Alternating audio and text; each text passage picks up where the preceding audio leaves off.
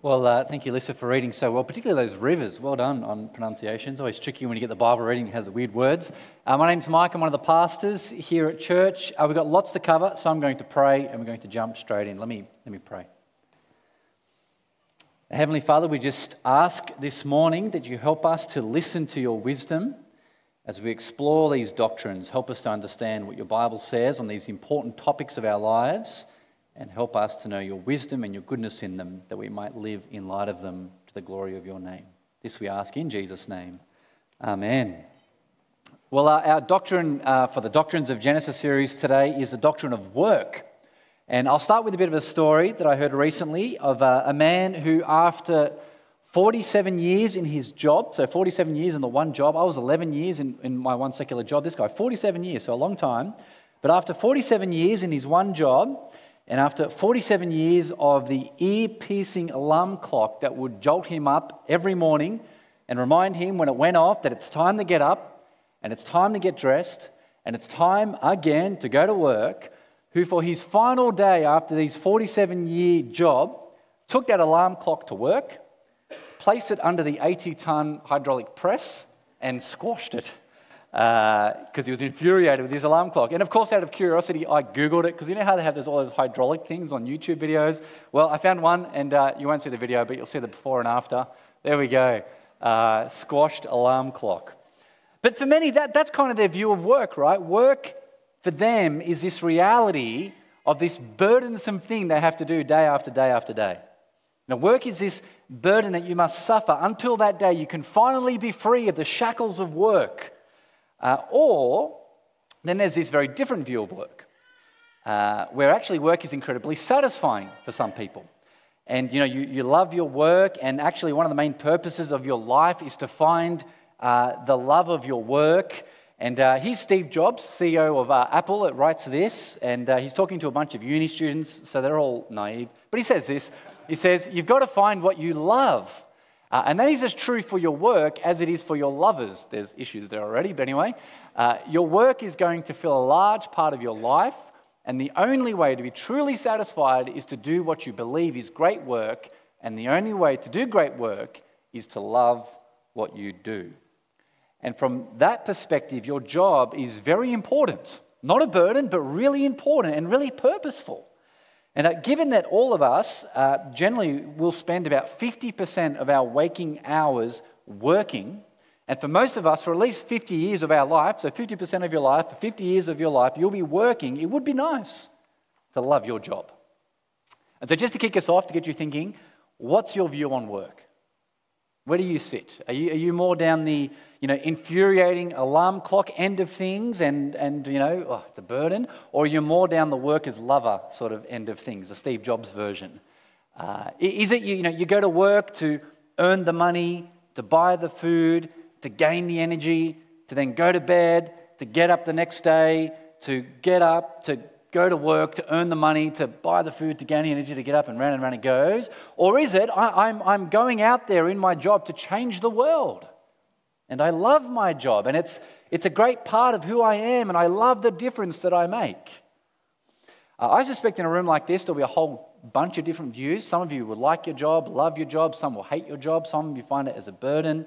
Uh, for many of us, I think some days it's, it's all over the place. Some days you get up and it is the desire to kind of pick up that alarm clock when it makes the noise and throw it across the room and just cry, I don't want to do it today. And at other times, you might joyfully hop in the car and off you go, or, or you know, go to the home office and with your tracky dacks, of course. Uh, but you see, regardless of your experience and how you feel about your job and this thing that we call work, what does God actually say about work? How, does, how does you know, the, the Bible actually teach us about this thing we call work? How do we understand it? Because there's a danger at both extremes, right? We can so love our work that instead of God shaping our work, well, actually, our work becomes our God. That's a real danger.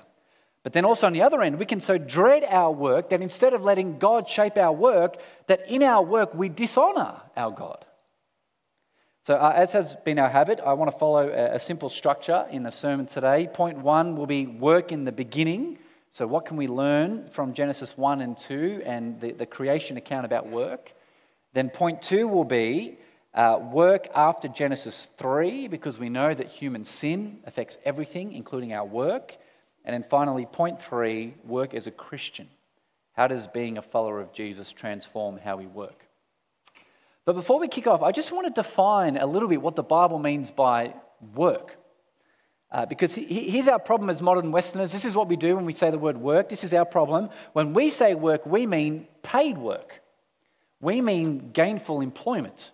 And that's not how the Bible talks about work overall. Work includes things like domestic work and cooking and cleaning and laundry. If you don't see that as work, it's probably because you've never done it. Uh, you know, mowing the lawn, uh, repairing the house, fixing the car, that's, that's work.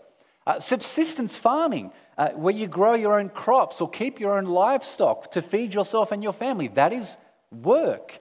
Uh, Galatians chapter 6 talks about working for the good of all, especially your brothers and sisters in Christ, which means helping your fellow brothers and sisters and, and fellow Christians to move house or fix house or paint house or whatever it might be. That's work, as the Bible defines. Actually, all your good works are work, uh, as is the work that we do in serving God here at this church. That's work, uh, as is the work of a parent especially the mum with the very young children. Uh, you, you, know, when the, when the full time mum gets asked, Oh, what do you do with yourself? And, and the mum kind of says, because it's, you know, this is how our world makes us talk these days, and the mum just says, Oh, I'm, I'm, I'm just a mum. That's all I do. I'm just a mum. And at that point, I feel like saying, No, you're a superhero. You're doing one of the most important and most difficult jobs of all the raising of little followers of the Lord Jesus. That is, that is work. Uh, if you don't get that, it's because, like me, you're probably not a young mum.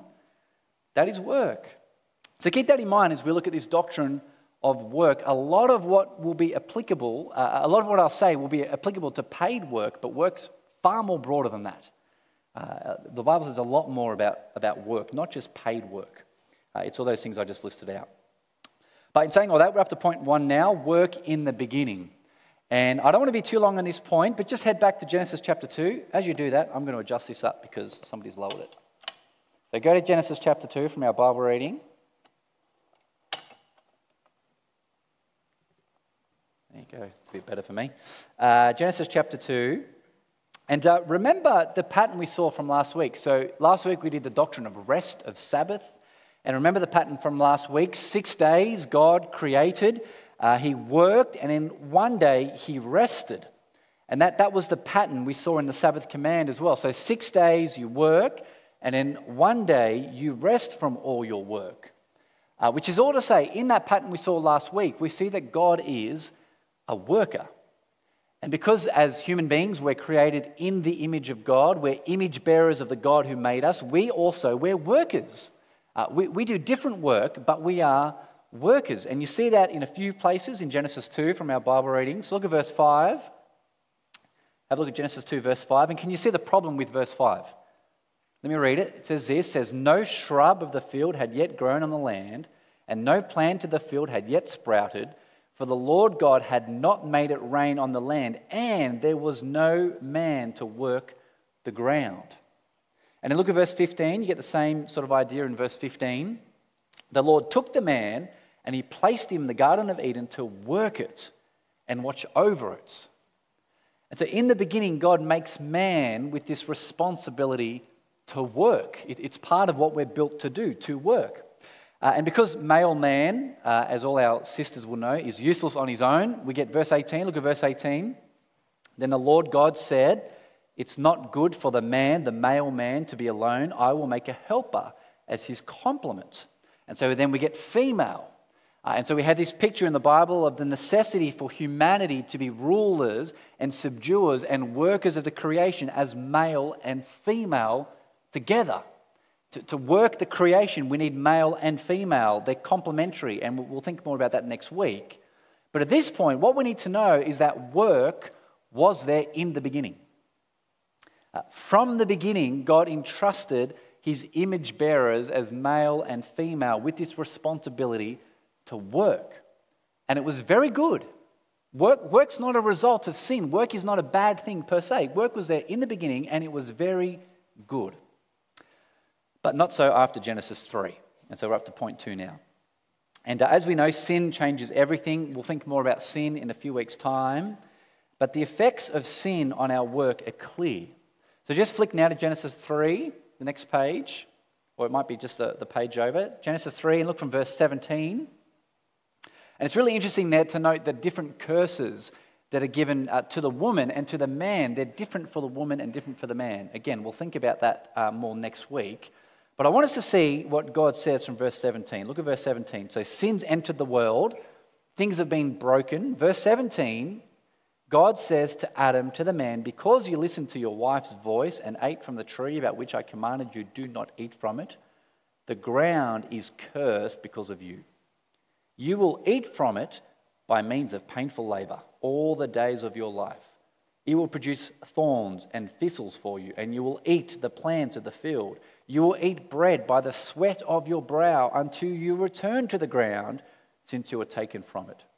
For you are dust, and you will return to dust. And again, very poetic, Genesis 1, 2, 3. And, and, and again, we talked about that in our first week, so go back and listen to that sermon if you like. But just notice there how many times the word eat comes up, the word eat. Uh, four times in those, just those three verses, the word eat.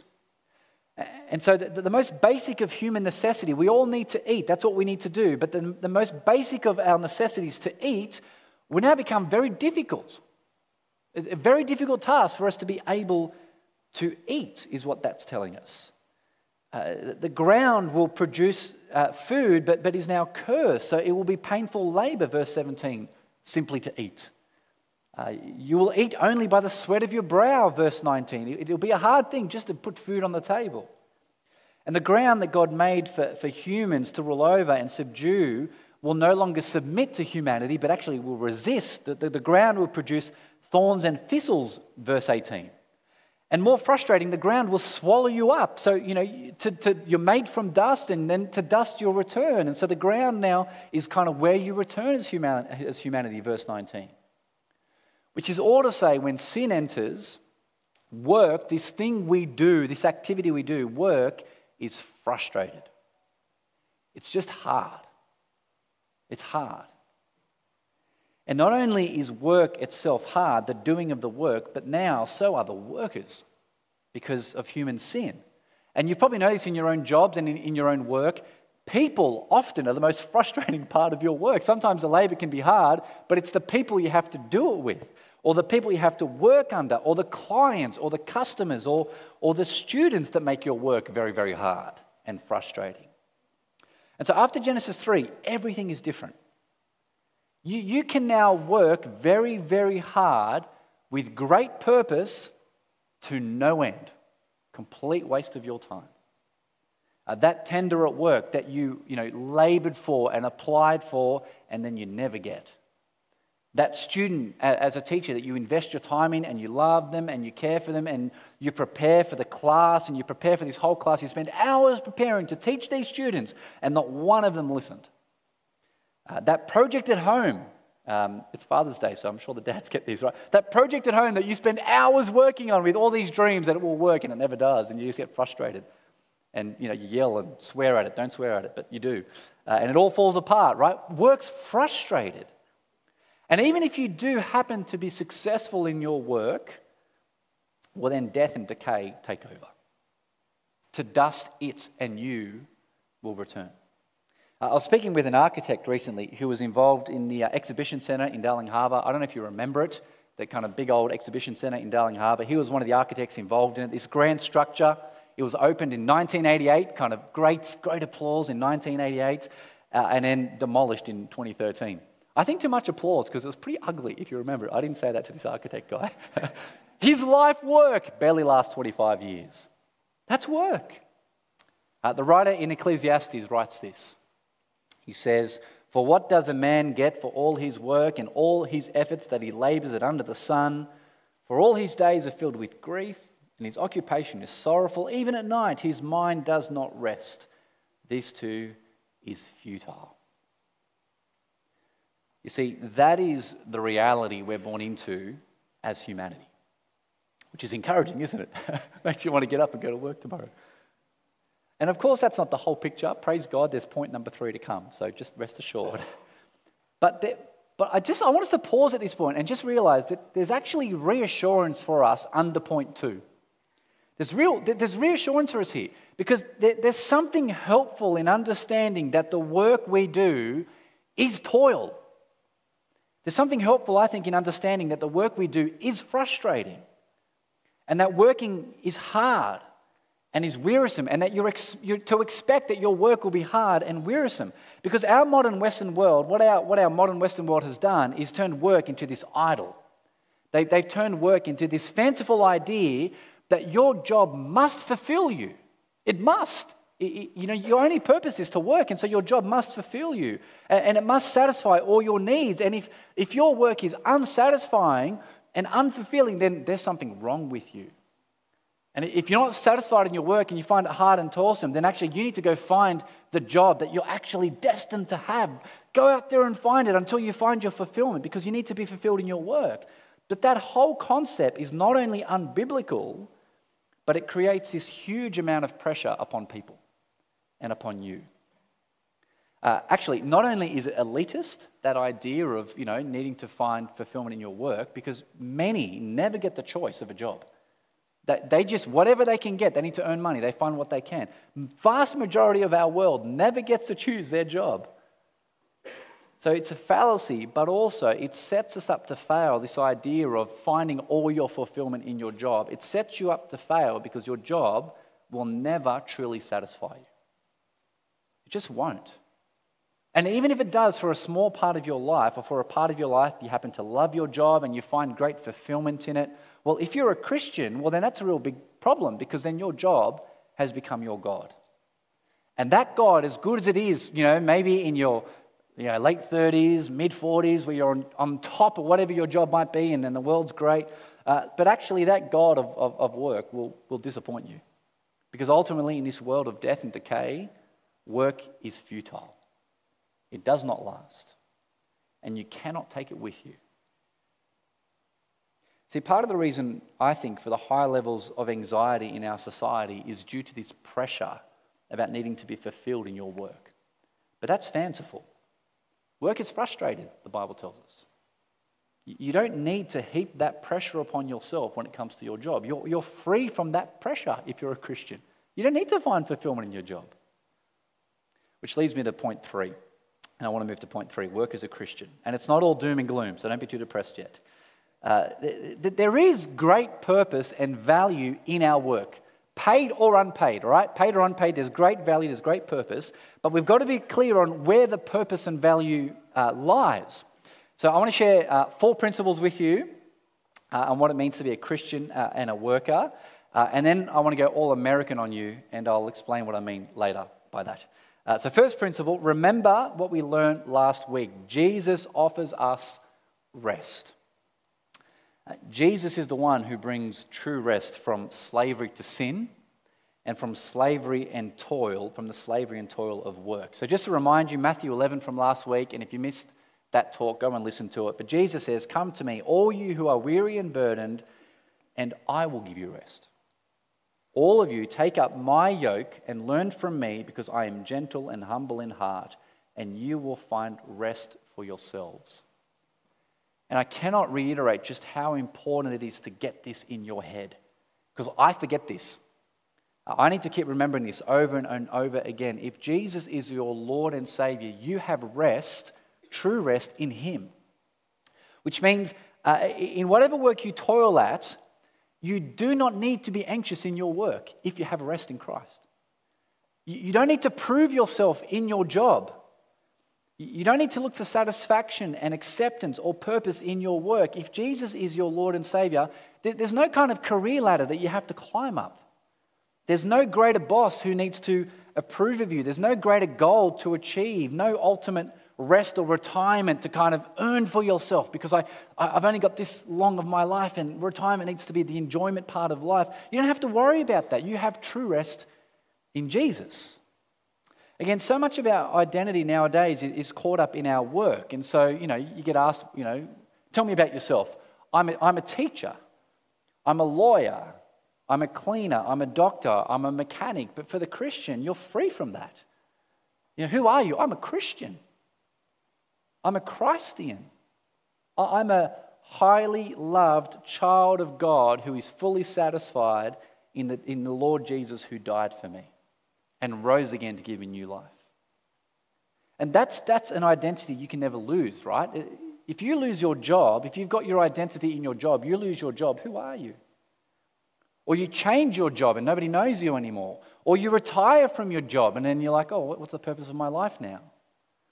But in Jesus, you always have rest as a loved child of God. So I just want to ask, this is, particularly if you're a Christian, this is a massively important question. Do you go to work? Will you go to work tomorrow resting in Jesus? Will you go about whatever it is your work? You might be a stay at home mum or dad, you might be a full time worker in a paid capacity, whatever it is for you. Do you go to your work resting in Jesus and satisfied in Him? Fulfilled in Him? Or are you trying to find your identity in what you do and your approval and your fulfillment? And I just want to say, you don't need to do that. Not only will that fail to work, but you already have full satisfaction in Jesus and approval in Him, a child of God. Rest in Him. That, that's a principle, number one principle we've got to hold on to as you think about your work. The next principle for uh, work as a Christian is our love for God. Uh, and as a Christian, your ultimate boss, uh, believe it or not, is the Lord, is God. Uh, it's Jesus that we're ultimately serving, and that, that completely transforms what you do in your work and in your workplace. So Colossians 3 says this up on the screen Whatever you do, including your work, do it enthusiastically as something done for the Lord and not for men knowing that you will receive the reward of an inheritance from the Lord. You serve the Lord Christ. So when you enthusiastically go about your job as something done for the Lord, that pleases God. Uh, and, and the idea of pleasing God, that is highly valuable and highly purposeful. When you work hard and do a good job, God is pleased. If your boss isn't pleased, ultimately it doesn't matter. God is more important to please. That's highly valuable. There's heavenly reward in pleasing your God, is what the scriptures say. And I don't know if you've ever thought of that, but your, your primary boss is not your employer, but God. Even if you're your own boss, you're still under the boss, God. And God created us to please Him in how we work. And in doing that, that actually glorifies God as well. So I, I really think that Christians should be known as the hard, honest workers? Are you known in your workplace, if you're a Christian, as the hard, honest worker? Because if you are, and, and known as the joyful worker, and not the selfish worker, and not the self seeking worker, that pleases God, but it also glorifies God. It honors Him. It's part of our purpose as His people to, to bring Him glory and honor. But that also means, if God is your boss, that you're ultimately accountable to Him. And so, in your job, don't bludge. Don't be lazy. Don't steal time from your employer. I love how Proverbs warns us about laziness up on the screen. It says, Go to the ant, O sluggard. I love how Proverbs calls a lazy person a sluggard. Go to the ant, O sluggard, and consider her ways and be wise. Or another proverb, the soul of the sluggard craves and gets nothing, while the soul of the diligent is richly supplied. Um, you see, God knows if you're being lazy and like the sluggard in your work. So don't work only when your boss can see you. Don't work hard only when your co workers can see you. Uh, don't spend your time on social media or online shopping. Uh, if you work from home, uh, don't confess this right now, maybe you can confess it to God later. If you work from home, don't send an email every 30 minutes to make it look like you're busy working, right? And then the rest of the time, you're doing whatever online shopping, looking after kids, whatever it is. Don't do that because you're accountable to God. You work before the, the God who is your boss out of a love for Him. So that's principle number two. Work as a Christian uh, is a work out of love for God. Number three, love for neighbor. And this is a really important one because our work should be something we do not to serve ourselves and our own amb- ambitions as Christians, or, or even to make profit for yourself, but actually to serve others. Isn't that backwards? Everything the world tells you about work is, is backwards to that. work's about you, but the Christian says, no, the work is about the, the neighbor. The Christian is a person who's transformed to think of others as more important than themselves. Uh, and you see that kind of transformation in the, in the thief of Ephesians chapter 4. So, Ephesians 4 on the screen says that the thief uh, must no longer steal. Instead, he must do honest work with his own hands so that he has something to share with anyone in need. And the idea is there, there was a, a thief who was a thief. He's come to know Jesus. He's become a Christian. So he doesn't steal for himself any, anymore, but he works to serve others. That's the picture. And we serve in all sorts of ways to do that, even in our paid work. Uh, so, just an example a couple of weeks ago, we had a massive uh, electrical problem at church here. Uh, Alex Reed, he's part of our congregation here, he's an electrician.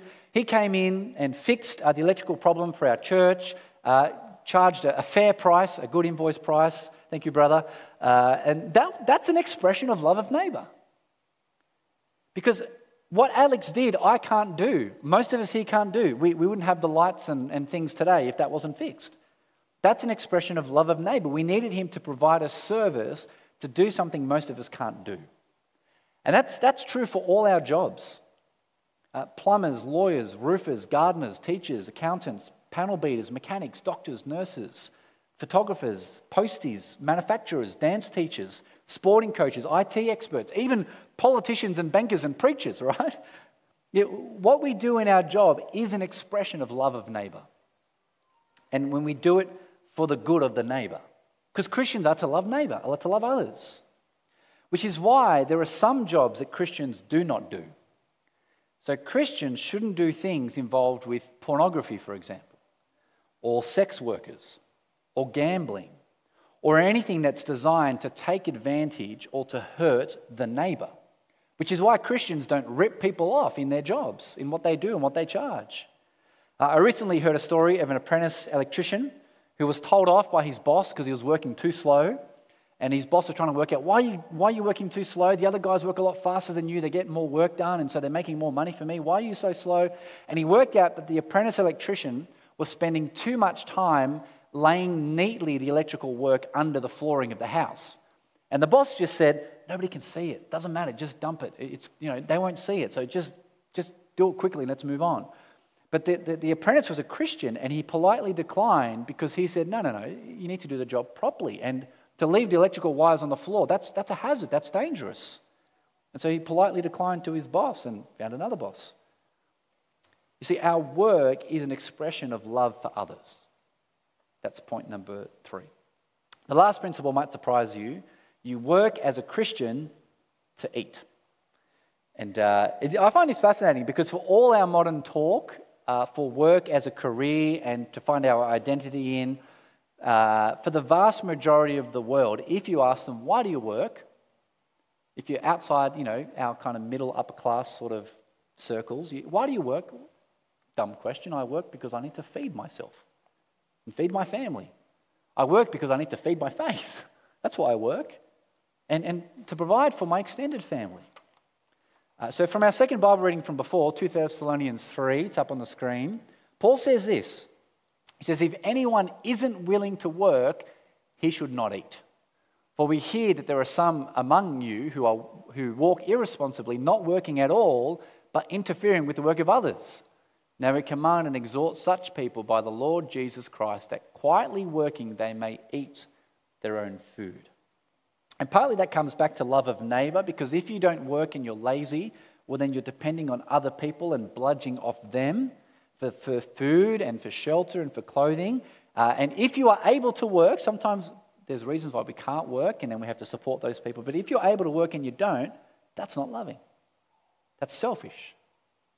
And again, it's really interesting because our modern world makes work all about career and identity. But when the Bible talks explicitly about work, it only talks about food. See, what does the Bible say about work? Work to get food. Uh, it was there in Genesis 1 and 2. You worked in the garden to eat. Uh, it, it was there in the curses. So, Genesis 3, the curses are now your eating will be hard work. Uh, 2 Thessalonians 3 up on the screen is about working to eat.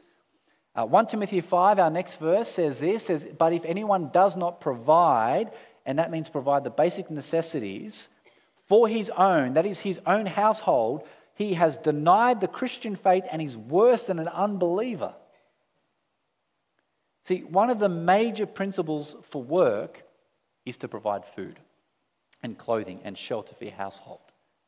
And I think remembering that as a Christian is really freeing because it's a good thing for you to get up and go to work and toil and labor to provide for your family and to provide for your extended family and to be generous with the things God gives you. That is massively valuable. That is one of the primary purposes for work. So, there are our, our four uh, principles uh, for work as a Christian. But I just want to uh, finish by going all American on you. And what I mean by that is, you know how the Americans like to write books and do sermons like the 10 things you need to know about work? And they just kind of fire stuff at you. Uh, I'm going to do that, but not 10. I only give you five because I've already gone for half an hour, so I apologize for that. Uh, five quick things, because there's so much to talk about with work, but let me throw five uh, quick things at you. Number one is, you are not your job. I just want to keep saying this. You are not your job. God cares far more about who you are and how you work than what your job is. The Bible says nothing about what types of jobs, it doesn't care. God cares about who you are and how you work. And other people should think the same. When they don't, just ignore them. See, our world has it backwards. They lift up the, the valuable and the worthwhile uh, by saying they're valuable and they're worthwhile because they earn lots of money and they're wealthy. And usually, those people, they earn lots of money and they're wealthy because they've been greedy and they've been wicked. Uh, if you want to talk about the most valuable jobs in our society, can I tell you, probably two of the most valuable jobs in all our society are the garbage collectors and the sewage workers. Because without those things, there's all sorts of disease and sickness. They are massively valuable for our society, and we don't even acknowledge them. Our world has it backwards. Don't tie your worth to your job. Forget what the world says. God cares nothing for what your job is unless it's a job that's damaging to, to, to, your neighbor. He cares about who you are in Christ. Number one, you are not your job. Number two, beware workaholism. Uh, I've already talked about lazy, uh, laziness, but workaholism is just as unhelpful. And uh, you can be a workaholic for all sorts of reasons for money, for greed, for status, for pride, a lack of trust in, in God being sovereign just poor decision making just saying yes to too many things, not saying no enough. Uh, for me personally, I need to keep working on this and making sure I fulfill all my responsibilities. You see, God does not say to you, He does not say, be the best and greatest worker you can be at your job and work really, really hard at your job and work really long hours and that will honor me, your God. God doesn't say that. No, God says, glorify me in everything, which means not just your job. How do you love your parents? How are you loving your spouse, your kids, your friends, your brothers and sisters in Christ? How are you going at serving your church? That's what God says glorify me in everything. So beware workaholism. Number three, beware escapism. Uh, some people turn to work to escape the problems of their lives, uh, or even, if they're being honest, to escape their families. And I see this with mums and dads. So I see fathers who uh, use work as an excuse uh, to escape the family responsibilities because, um, you know, let's be honest, sometimes staying back at work or going to a work function is much easier than going home and dealing with the family and the kids. So they use work as an excuse to, uh, to basically uh, forfeit their responsibilities as, as a family man. Or sometimes mums do the same as well. They go back to work early to escape dealing with little kids. Even though they don't need the extra money, they go back to work because they want to escape the kids. We need to be aware of that. We, work is not something that we use to escape from other things. That's looking to work to fulfill us, but it also neglects other responsibilities. Beware of escapism. Number four, two more to go. Your job is not a calling. So sometimes uh, Christian people say to me that they're trying to discern what's God's calling for my life. I'm trying to work out the job God wants me to do which is often very, again, middle or upper class. So, you know, is God calling me to be a doctor or a lawyer or a teacher or a dentist? It's funny how God's Holy Spirit is very middle class, you know. Christians never come to me and saying, Oh, I'm trying to discern if God's calling for my life is to become a truck driver. Nobody has asked me that. But truck drivers, they're hugely important. We need them. So we've got to be careful. God does not call us to a job. Your job is not your calling. You are called to Christ. If you're a Christian, you're called to Jesus. Your job is, is not your calling, your Jesusness is your calling. Uh, and so that impacts your job, yes, but it's not who you are, your job. It's not useful to spend your time trying to work out where's God destined me to be. No, where has God put you right now? And then work faithfully where you are right now. And if your job is horrible and it's a toxic workplace, well, it's good to search for another option if you can, try to find something else. But even while you stay in that context, be a faithful worker. Uh, you're before God. God does not call us to jobs, He calls us to Christ. Which brings me to number five. Well done, you've made it. Last one. Uh, remember the work of the Lord. Which is all to say, as Christians, if you're a Christian, we can get so obsessed with our earthly jobs and so obsessed with spending so much time doing those earthly jobs that we neglect the eternal work of sharing Jesus with people. Uh, you see, remember, work is more than just a paid job. If you want to talk about Bible and work, well, then there's one kind of work that the Bible says is of eternal value, and that is sharing Jesus with people and helping people to grow more like Jesus. That is a work of eternal value like no other work is. And all of us have a job to do that. See, all our paid work will ultimately perish, but people are eternal. And God has put you where you are to do that work of the Lord, of sharing Jesus with people. You're, in your workplace, you can go where no one else can go. I can't go to your workplace because I'm not there. Other people here can't go to your workplace because they're not there. God has put you there to do the work of the Lord. The people in your sphere each and every day are people that God has put there for you to share Jesus with them and share Jesus with them. And invite them to things like the life course uh, tell them of that true rest that they can find in Jesus. They don't need to find their purpose in their work. So that's number five. Remember the work of the Lord, it's of eternal importance. Well, I've gone long. I need to pray. Let me pray for us. And if you've got questions, write them down or come find me after. But we need to wrap up. Let me pray. Well, Heavenly Father, we do thank you that you are the God who gives us true rest in Jesus, your Son. Help us not to be people who eat up the, the, the, language of our world and try to find our purpose in our jobs. And help us to realize our jobs are far broader and richer, and our work is far richer than just our paid jobs. That we are to love you, to love neighbor, and to point others to Jesus. Please help us in those most important works to the glory of your name. In Jesus we pray. Amen.